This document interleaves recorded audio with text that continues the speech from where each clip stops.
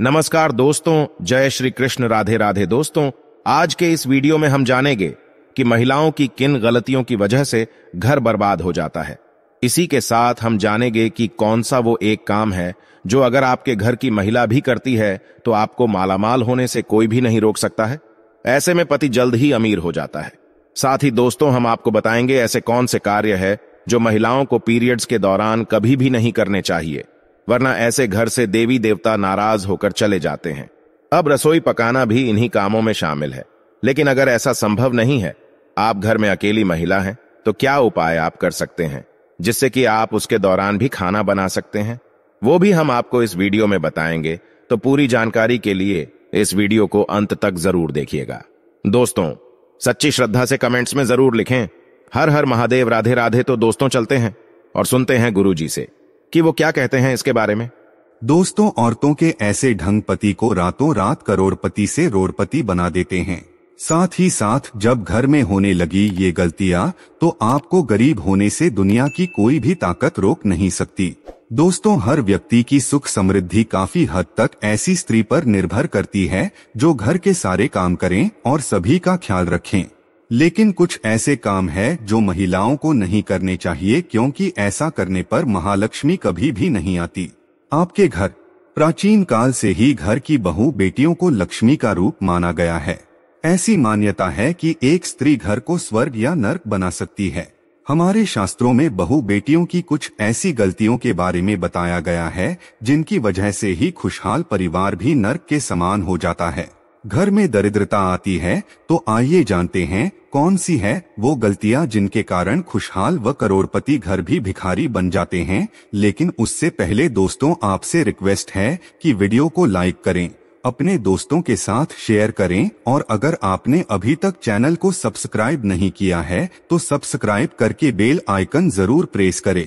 दोस्तों नंबर एक, पाव हिलाना जिन्स घर की औरतें खाना खाते समय पाव हिलाती रहती है। वो घर कभी भी बर्बाद हो सकता है। महालक्ष्मी रुष्ट हो जाती है। परिवार में तनाव आता है। किसी बड़े मुखिया की नौकरी छूट सकती है। दोस्तों, नंबर दो जिन्स घर की महिला झाड़ू को पैर से लगाती हैं या पैर से ठोकर मारती है या जानवर को मारती है। वहाँ कभी भी लक्ष्मी का वास नहीं हो सकता। ऐसे घर में हर वक्त बीमारी, परेशानी छाई रहती है। माना जाता है कि झाड़ू में देवी लक्ष्मी का वास होता है। दोस्तों, नंबर तीन चूल्हे पर झूठे बर्तन रखना या अगर कढ़ाई को गैस पर झूठ छोड़कर अगर कोई महिला सो जाती है तो ऐसे घर में लक्ष्मी कभी भी नहीं आती। ये गरीबी और दुखों का बहुत बड़ा कारण है।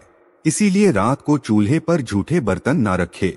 बर्तन को तुरंत धो डालें क्योंकि बर्तन भी शराब देते हैं। दोस्तों, नंबर चार, धोकर से दरवाज़ा खोलना। जिस घर की महिला ठोकर से दरवाज़ा खोलती है या बंद करती है। वहाँ से भी धन की देवी महालक्ष्मी नाराज़ होकर चली जाती है। इसलिए आपके घर में ऐसा होता है तो इसे तुरंत रोक दें वरना ये विनाशकारी आदत आपके घर को ले डूबेगी क्योंकि महालक्ष्मी का आगमन ऐसे घरों में नहीं होता। दोस्तों, नंबर पाँच, अगर आपके घर की महिला घर की दहलीज पर बैठकर भोजन करती है तो इससे घर में बर्बादी आती है। हिंदू शास्त्रों में इसे बेहद ही अशुभ माना जाता है। दोस्तों, नंबर छह जिन्स घर की महिला रात या शाम को झाड़ू लगाती है तो उस घर में दरिद्रता आती है। इसलिए इस आदत को छोड़ दें। खासकर बृहस्पतिवार के दिन पोछा नहीं लगाना चाहिए, क्योंकि बृहस्पति जब कमज़ोर पड़ता है तो घर में विनाशकारी गरीबी आती है। दोस्तों, नंबर सात, अगर किसी घर की महिलाओं को देर रात तक सोने की आदत है तो वो घर और परिवार के लिए अशुभ हो सकता है। देर रात तक सोने वाली स्त्री अपने पति और उसके परिवार और ससुराल वालों के लिए असफलता का कारण बनती है। परिवार में किसी की मृत्यु भी हो सकती है। दोस्तों, नंबर आठ, महिलाओं का गाली देना या तेज आवाज़ में बोलना पूरे घर को, परिवार को श्राप लगता है। ऐसी महिला जहाँ भी होती है, महालक्ष्मी, इनसे कोसों दूर रहती है। दोस्तों, नंबर नौ, जिन्स घर की महिला सुबह उठकर अपने घर का आँगन साफ़ नहीं करती। ऐसे घर में देवी लक्ष्मी कभी भी नहीं आती। घर की महिलाओं को सुबह उठने के बाद आँगन में पानी छिड़कना चाहिए और साफ़ सफ़ाई कर लेनी चाहिए और तुरंत पूजा पाठ कर लेना चाहिए। और सच मायने में महालक्ष्मी ऐसे ही घरों में वास करती है। दोस्तों, नंबर दस, एक शादीशुदा महिला को अपना मंगलसूत्र, चूड़ी, कान के कुंडल, पैरों की बिछिया व पायल कभी भी उतार कर नहीं रखनी चाहिए। ऐसा करने से पति की मृत्यु हो जाती है और महालक्ष्मी भी उल्टे पाव चली जाती है, क्योंकि जिस घर में स्त्री की पायल खनकती है, वहाँ पर देवी लक्ष्मी का वास स्थायी रूप से होता है। भोजन को झूठा नहीं करना चाहिए। कुछ महिलाओं की आदत होती है कि खाना बनाते समय वो नमक देखने के लिए भोजन को चखती है तो ये गलती आपको नहीं करनी चाहिए, क्योंकि खाने का कुछ भाग आपको भगवान को भोग के रूप में लगाना चाहिए। ऐसे में झूठा भोजन कभी भी भगवान के आगे भोग नहीं लगाया जाता। दोस्तों आपको यह नहीं मालूम होगा कि औरत के ऐसे सोने पर सबसे जल्दी घर में अमीरी आती है। जब औरत रात के समय ऐसे सोती हैं, यकीन मानिए ये भी है। मैं नहीं बता रही हूँ ये शास्त्र कहते हैं वो घर करोड़पति कभी भी बन सकता है। ऐसे में आज हम आपको बताएँगे कि महिलाओं की कैसे सोने पर सबसे जल्दी कामयाबी मिलती है। महिला जब ऐसे सोती है तो यकीन मानिए आपको अमीर होने से कोई भी नहीं रोक पाएगा। यही वो कार्य हैं जो अगर आपके घर की महिलाएँ करती है तो आप जल्द ही मालामाल हो सकते हैं। तो आइए जानते हैं, दोस्तों नंबर एक शास्त्रों में स्पष्ट रूप से बताया गया है कि देर रात सोने वाली महिलाएँ पूरे घर का विनाश करती है और इससे माता लक्ष्मी रूठ जाती है। मान्यताओं के अनुसार देर रात दो बजे अगर कोई महिला जागती है तो इसका मतलब है क्या? आपके घर में परेशानियाँ आ सकती है। इसीलिए किसी भी महिला को बेवजह देर रात तक नहीं जागना चाहिए। ऐसा करने से दोष लगता है इसीलिए जल्दी सोकर सुबह जल्दी उठना चाहिए। दोस्तों नंबर दो धर्म शास्त्रों के अनुसार चाहे आपका कोई भी धर्म क्यों ना हो जहाँ पर महिलाएँ अपना ज़्यादा समय सोने में बिताती हैं, तो वहाँ पर कभी भी राहु केतु शनि की दृष्टि पड़ सकती है। सच मायने में आपको ऐसा नहीं करना चाहिए। जो महिला हमेशा सारा समय सोने में ही बिताती हैं, तो सभी देवी देवता भी क्रोधित हो जाते हैं। इसलिए सीमित मात्रा में ही सोना चाहिए। ज़्यादा सोना धन की हानि और बीमारियों को न्योता देने के बराबर है। दोस्तों नंबर तीन जब आप रात में सोने के लिए बिस्तर पर जाएँ, तो नकारात्मक ऊर्जा से भरी बातों का ज़िक्र बिल्कुल भी ना करें। ऐसा करने से नकारात्मक ऊर्जा आकर्षित होती है और आपके सपने में आकर या आप पर हावी हो सकती है। सोते समय मन में अच्छे विचारों को लेकर ही सोना चाहिए। इससे हमें कामयाबी मिलती है। दोस्तों, नंबर चार, मंगलवार और शनिवार और बृहस्पतिवार के दिन जितना जल्दी हो सके उतना जल्दी उठने की कोशिश करें, वरना ये समय आपका विनाश कर सकता है। शास्त्रों में स्पष्ट बताया गया है कि इन दिनों में देर से उठने वाले व्यक्ति पर नहीं सारे दोस्त लगते हैं, जो उसे बर्बाद कर सकते हैं। इसीलिए इन दिनों में आपको ज़रूर जल्द उठना चाहिए।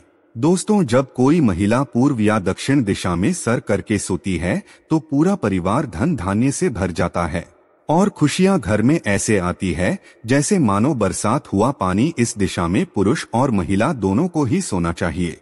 दोस्तों, महावारी के दौरान यानी पीरियड्स के दौरान महिलाओं को कुछ काम नहीं करने चाहिए, वरना ऐसे घरों से देवी देवताओं का जाना तय है। ऐसे घर में भयंकर गरीबी और दरिद्रता अपना आवास बना लेती हैं। महिलाओं को मासिक धर्म के दौरान देव स्थानों को छूना नहीं चाहिए पूजा पाठ नहीं करनी चाहिए। लेकिन इसी के साथ रसोई में खाना बनाना भी इस समय में शास्त्रों में वर्जित बताया गया है। पीरियड्स के दौरान इन कामों को करने से पाप लगता है। महिलाएँ और युवतियों इससे बचने का प्रयास तो करती है, लेकिन फिर भी कई बार उन्हें यह काम करने पड़ जाती है। खासकर आजकल के समय में ये नहीं हो पाता क्योंकि पहले जॉइंट फैमिली होती थी। एक घर में एक से ज़्यादा महिलाएँ होती थी। ऐसे में ये नियम संभव था। पर अब जब न्यूक्लियर फैमिली हो गई है, सब अलग अलग रहते हैं तो घर में एक ही महिला हो और वो भी किचन में काम ना कर पाए तो इस समय में पूरे परिवार को कष्ट उठाने पड़ते हैं। पूरा परिवार परेशान हो जाता है तो ऐसे में आप क्या कर सकते हैं? ऐसे में आप खाना बना सकते हैं, लेकिन कुछ बातों का आपको ध्यान रखना होगा। सबसे पहली बात तो यह है कि ऐसे में आप नहाकर ही रसोई घर में प्रवेश करें। बिना शुद्धि क्या प्रवेश ना करें। हाइजीन के नज़रिए से भी यही सही है। इसके अलावा दोस्तों, महिलाओं को मासिक धर्म के दौरान बहुत ही पीड़ा का कष्ट का सामना करना पड़ता है, जिसका अंदाज़ा पुरुष लगा तक नहीं सकते। ऐसे में महिलाओं को चाहिए कि वो खाना उस समय बनाए जिस समय उन्हें पेन यानी दर्द ना हो रहा हो। दरअसल दोस्तों, शास्त्रों के अनुसार, जब भी कोई बीमारी या पीड़ित व्यक्ति खाना बनाता है तो उस खाने को ग्रहण करने वाले व्यक्ति को दोष लगते हैं। यही कारण है कि बीमार व्यक्ति को खाना नहीं बनाना चाहिए।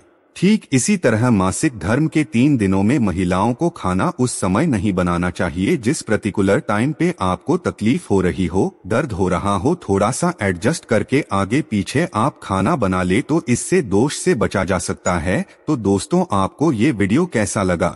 हमें कमेंट में ज़रूर बताएँ। इस वीडियो को लाइक करें, अपने दोस्तों के साथ शेयर करें और हमें सब्सक्राइब करना ना भूलें। और हाँ इस वीडियो से कोई भी सवाल है। तो आप कमेंट बॉक्स में ज़रूर लिखें और आपके पास कोई भी सवाल नहीं तो यश लिखें क्योंकि यश लिखने से वीडियो बनाने का मोटिवेशन मिलता है। धन्यवाद।